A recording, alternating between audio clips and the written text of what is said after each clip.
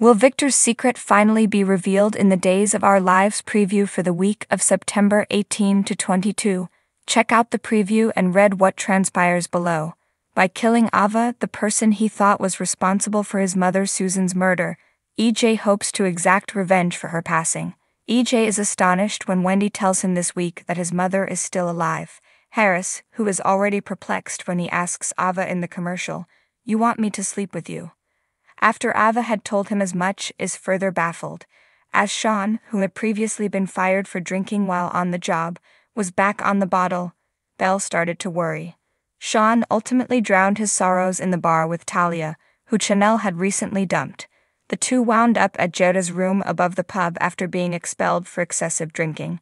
Coming up, Sean wakes up in bed after his binge, and Belle tells Refat at the pub that he didn't return home last night. Speaking of drinking, Vivian quips, still slumming I see.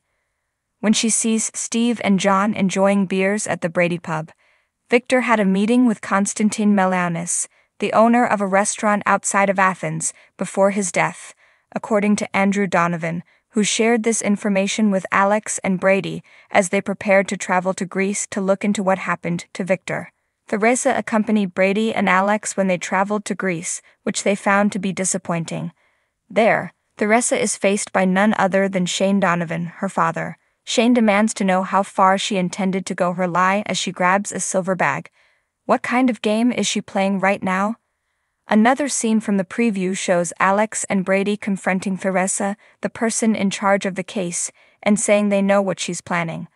Brady returns to Salem and gives Justin a silver briefcase, the sole thing the ISA was able to salvage from the remains of Victor's aircraft. Maggie exhales as she finally opens the briefcase. Thanks for watching this video.